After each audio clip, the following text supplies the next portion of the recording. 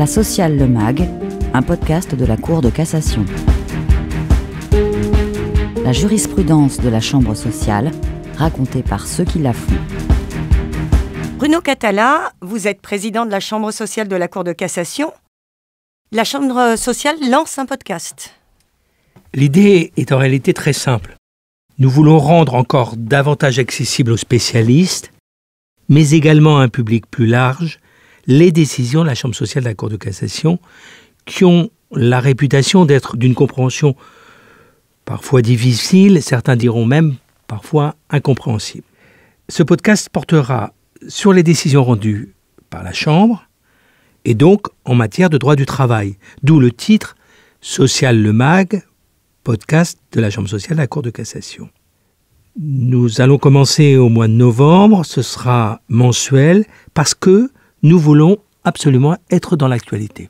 Mais lorsqu'on imagine un podcast de la Cour de cassation, on pense que cela risque d'être euh, ennuyeux, voire euh, incompréhensible. Est-ce que ce sera ça? Nous allons tenter justement de démontrer le contraire, démontrer qu'on peut être juriste, parler de jurisprudence de manière sérieuse, et pourtant évoquer les droits de chacun d'entre nous, ceux que nous exerçons au quotidien, et ceux de façon la plus claire possible. Évidemment, dans notre matière, nous nous adresserons davantage aux salariés et aux employeurs. Et concrètement, il va consister en quoi ce podcast?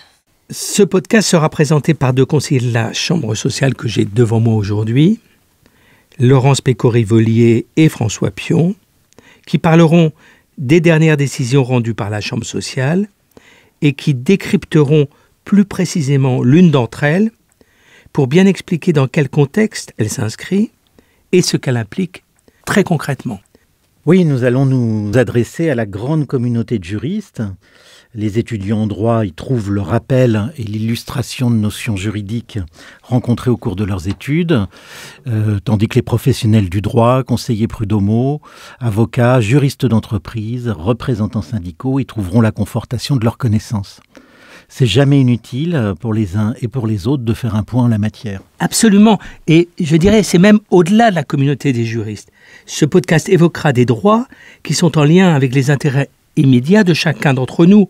Par exemple, dans le premier podcast, il sera question de covoiturage, de clauses de non-concurrence, de contrats aidés et des sanctions qu'un employeur peut prendre lorsqu'il y a des fautes réitérées d'un salarié.